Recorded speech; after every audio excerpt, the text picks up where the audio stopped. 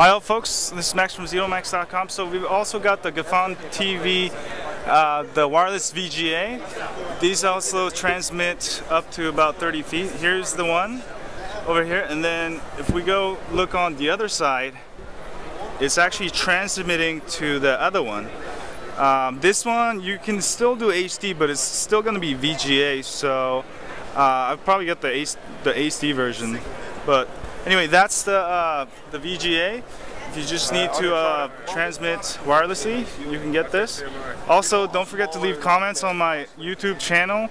Uh, if you have anything you want me to cover, I'll be here for the rest of the week. And check out my site, Zedomax.com. We'll have all the best CES reviews.